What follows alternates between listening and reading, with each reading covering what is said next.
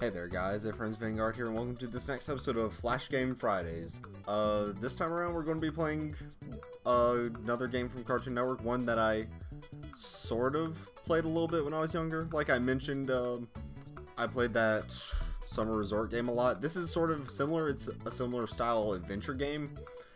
Uh, you'll see what I mean in just a couple seconds, but it only has one scenario and it's pretty short and doesn't have that much variety. Something I just noticed here, they have like a Georgia logo thing because Cartoon Network is based in Georgia because was yeah Time Warner that's the whole company. That's currently based in Georgia.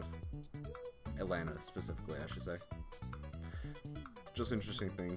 You don't often get to see your own state represented. I mean Georgia more so than some of the other states like Delaware. Has anyone ever mentioned Delaware? Probably not. Okay. I was going to try and start this, but I might have to... Let me see if I can do anything about this. No, no. Going to have to refresh the page. Alright, see you when that happens. Alright, so now the start button's actually reacting. So Johnny Bravo's going... I, I can't do Johnny Bravo's accent, so... The envelopes have gone missing. What envelopes? It doesn't say. Also, you can skip this. Oh, for the love of God. Now it's not working.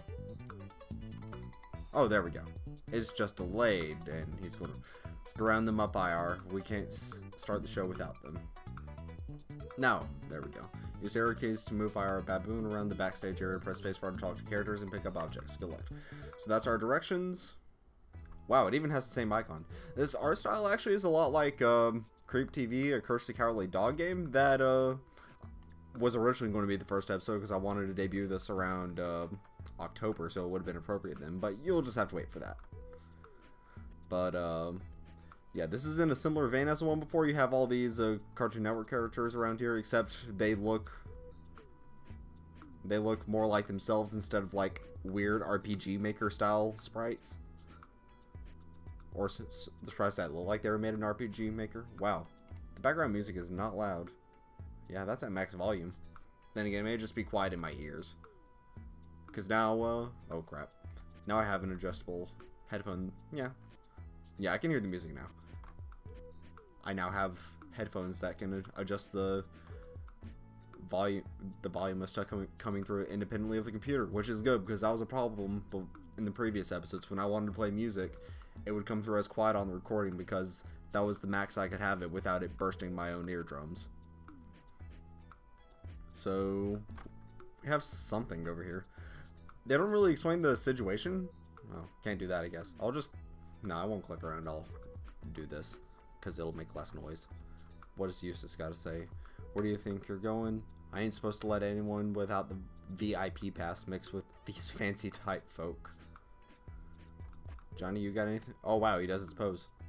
Come on, go find those envelopes. Oh, wait, that's all he's going to say. Who are you? Magilla? Are you from, like, Yogi Bear or something? That's what you look like. This is an old game, because I don't recognize a lot of these characters from my memory serves. I basically recognize Johnny, the Courage characters, and uh, some Scooby-Doo characters in here too that I know of. Handing out credentials takes a lot of energy. I'm starving. I think that's a hint for us. Yeah, you picked up the platter of assorted goodies. That, that looks more like burgers than just assorted goodies. Yeah, they don't explain the context of what's going on around here, so I don't know if this is if like they're pretending that all the Cartoon Network sh shows are like live performances or whatever, but eh, it doesn't matter. No one really cares. Magilla takes a snack from your platter. Don't mind if I do. Got a VIP pass. So we still got some food left. Apparently, multiple people will just be wanting food and we'll give it to them. VIP, huh? Alright. I suppose you can come in. So, it does that weird blur thing because apparently they're too lazy to animate Eustace moving. Probably not lazy. They probably just didn't have the like time to do that. Oh, there's 10 envelopes. Between the leaves of this plant, you found another another envelope. Good going. That's the first envelope, mind you. Igu, roar. I have no idea what Igu is or what he is from. Igu is trying to tell you that the, that is his job to block this door. As long as he's standing here, you can't get in. Well. Oh, that was a noise. This car is in your way. Better find a caterer to move it. I wasn't expecting it to shout at me. I was trying to interact with that chicken there. Foghorn Leghorn takes a treat from your platter. Mighty nice, yeah, mighty nice. Okay, apparently he doesn't give me anything. He just takes one. What else are you gonna say? I say, I say, it's a magical night. Yeah, you're you just took my food. Thank you. I didn't even necessarily offer you one. The door reads broom closet. It is locked. That's unfortunate. Broom closets are usually unlocked, so I don't know why it would do that. I'm, I mean, at least in video games, because they hold convenient stuff inside. It's rare that they're locked in games. In reality, more so, because you don't want people stealing stuff. So we got him right here. I'm certainly not going to try and imitate that voice. That would just be disturbing to all of you. You found my missing plate. Tray, please return it after you have served all the food. As caterer, I can't have those platters walking off. Okay. So apparently him's the server. That also sounds really weird to say. But whatever. Or caterer, I guess. Shaggy, what do you gotta say? Shaggy takes a snack from your platter? Like far out, man. I thought they were out of veggie burgers. Oh, that's what they are. That's also kind of disgusting. I'm just not much of a vegetable guy. I much prefer meat on my burgers. I'm basically a carnivore. So, yeah, veggie burgers not my style. Hey, do you think you could leave a couple of those in my dressing room for after the show? Oh, we actually got something. Has anyone seen my pants? I don't think you ever wore them. And don't worry, I do recognize this guy. I recognize him at least. He's famous enough for that. There's another envelope under those finger sandwiches. What? It's smudged with mayonnaise. Ugh. They don't explain what these envelopes are for anyways. Or is it like an award show? Is that what they are? And these envelopes are like the winning contestant things? Nah, that'll still scream at me. I doubt it opens up this. Gotta find a, a way to open this door. No. Roar. Nah. Johnny, you want one? Well, that's great, but we can't start until we have all of the envelopes. I guess that's what it is. Or they have finger sandwiches in the VIP lounge after you checked it out. I guess that's what it is. It's like an award show because Johnny says they can't they can't start without all of them. So, eh, I guess. I really shouldn't since I am on duty, but what the heck. Eustace takes a treat from the platter, so that's who the last person was. And this music seems to be looping, so I'm gonna mute it before it gets too annoying, and instead we're going to switch over, not to YouTube this time, but to the Smash Bros. website to listen to some of the remixes that they have here. I'll, I think it auto plays from one song to the next, but we'll start with Brinstar Depths anyways. Because Metro... Metroid music is good. This one. Totally fits. This is exactly like Metroid, you know. Also, that might be a bit loud, so let me adjust. Ooh. I can adjust it from here. Because I realized if it was loud in my ears with my adjustable headset, then it was probably loud in yours. That might still be too bad, but if if it's not, then I can edit that in post. Alright, so now return this to him. Thanks for your help. That That's probably the first time he's ever... He? It? She? I don't know. Has ever said that. I should put this tray back on the catering cart. Alright. So now we can go this way. This thing's on top of the garbage. Say, Chief, mind if I slip in behind you? I must have misplaced my credentials. So... Alright, whatever. Found a key in the dustpan. That's rude. The janitor must have thought it was trash. Doesn't say what it's for, but there's another envelope. And uh, you can already see one over here. Ooh, you found an envelope. Better wash your hands later. As you can see, small area, but the mystery machine is locked. Surely one of these key... Okay, I can't do that. But surely... No, it doesn't know how to play. Well, let's go to Vega's stage theme.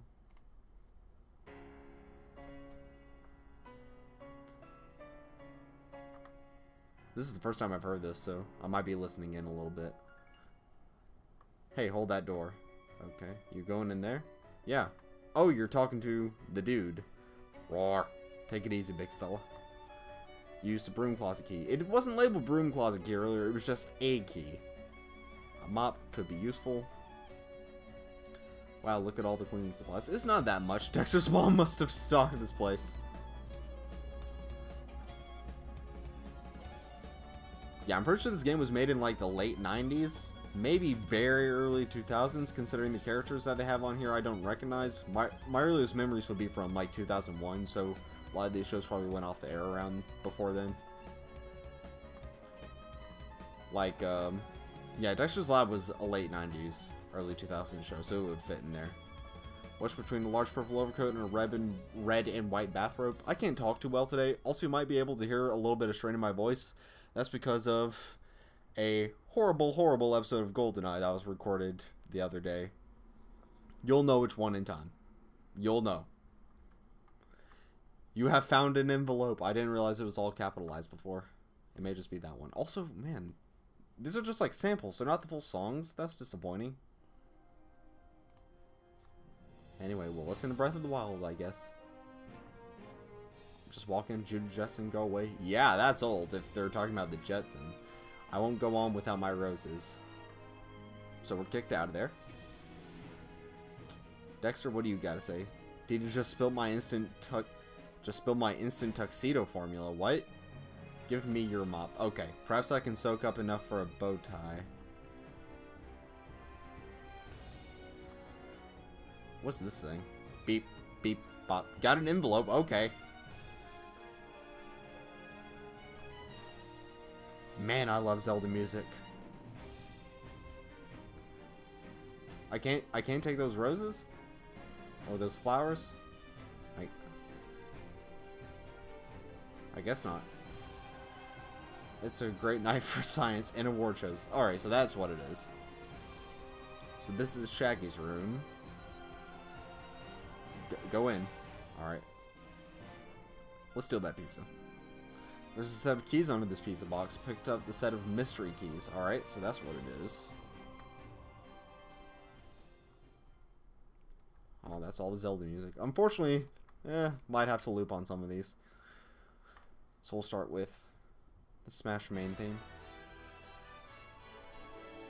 The reason I'm listening to this music right now is because uh, I was watching some videos of Smash Bros. Ultimate earlier, and uh, I I'm excited. Can't wait for December, especially because I'll finally have my best friend that used to play Smash with me. He'll be back in the country by that point. He'll actually be back in the country in a month, so... But I won't have Smash Bros. play with him at that time, so it'll have to wait. A sign on this door says reserved for the mayor. It is locked, so... Eh, can't do anything about that. Going this way, let's just open up. Use the mystery keys. What's in here? Found a box of Scooby snacks. Alright. Don't exactly know what we'll be using those for. I go... Oh, there's the mayor. I'm going to give you the key to the city. Or, well, it was the key to something anyway, huh? So, surely it's the key to his room. Mojo Jojo. I know nothing about the missing envelopes. If I knew, I would tell you, but I don't, so I will not. For I have nothing to tell. not that you have asked. That's a weird comment to make. Alright, so this game was probably made in the early 2000s, because I'm pretty sure Powerpuff Girls was early 2000s maybe like its first season or two was in like 99 but it was i know it came on when i was a very young kid because i watched it during that time oh you're just you're just going to say your catchphrase well no not that way this way and oh the door that's weird the, some of the doors remained open so let's check out the mayor's room envelope. There's a rose. This card. The reads to Miss Bellum, break a leg. Trudy needs roses. Think she'll know the difference? Probably. Also, it might be a little weird to see that old Cartoon Network logo there. I know it was for me. They changed it when I was fairly young to just the CN. They changed it from that checkerboard pattern, you know, to the to this thing right here. I remember they changed it. Uh, I was actually playing a game on Cartoon Network on the on this website at the time when uh, it happened. I remember because I saw the change and I was just like, that's weird. but they but they still had uh, like the checkerboard logo on TV. I remember, and I only remember this because this specific instance because uh, we were changing the carpet around at the time, so I had to find something to do. So apparently, it was watching TV and playing games online. Judy Jetson says so. Thank goodness my roasts. I thought they never arrive. So she took that from us. What now? Is I just knew Jet Screamer would remember my big night. Alright. And unfortunately that's the end of that song, so do I loop again or do I go on to Splatoon? You know, people like people like Splatoon music. I've never played it one or two, so. And, and personally, I'm not a big fan of the music, just in my opinion. It's a little out there for me. So I guess we should go find Scooby because since there's Scooby snacks, I'm assuming that's what we would have to give to him. Um, not in here. No? Oh, there's... Scooby looks nervous. Maybe a Scooby snack will calm him down. Ranks for a lot. Oh, what the? This lever is green. Let's find out why. Wait, was there an envelope there this whole time? Don't know what the green envelope does. It's stuck? Okay. Let's try this one. Alright, so that changes. There's an envelope over here. Found an envelope taped to this backdrop. Why would it be taped up there? Also, how do you lose stuff this badly? I'm assuming this last one's in uh, Miss Jetson's room because... Yeah, right there behind the portrait. Look, there's an envelope underneath this picture. So let's go talk to Johnny. Yeah, there we go. I figured there would be one in there since she would kick us out before. It would be weird to give her to have an optional thing that doesn't reward you with anything. Hoo-ha! You're a lifesaver. Now the show can go on. Is there music for this? No, it's the same music as before, but he's going to be hopping up on stage for some reason. And the winner is you. Thanks. The winner, uh, a winner is you. It should be. Thanks for saving the big night. And that's all this game is. There's, as I said, there's not much to it. That, uh... Gosh, I'm blanking on the name. That Summer Resort game, it was a bit more in-depth, even if the graphics were a lot uglier and some of the controls were weird. But it had a bit more depth to it, especially since it was a four-parter. But that's going to be all for this week. That game had a lot less than I remember it being. Though for some reason, I thought I remembered... Um, all the envelopes being hidden in the back of um, the mystery machine, and like there were like five envelopes or something back there, and that's where they all were. But instead, they were all scattered around. My memory was just fooling me. But yeah, that's all there is to this. Not much else is different. Let me mute this again. We'll play some more Brinstar Depths while I wrap up the episode. So, as always, with Flash Game Fridays, if uh, you want to have your own suggestion, please submit it to me down in the comments below. Only two rules, and one of them is YouTube's rule, so it's non-negotiable. Uh, the two rules are no excessive violence and uh, no no sexual content. So anything else is fair game. And uh, again, I would be glad to take suggestions. So if you have that, please submit it in the comments. But either way, thank you guys so much for watching, and I'll see you guys next time.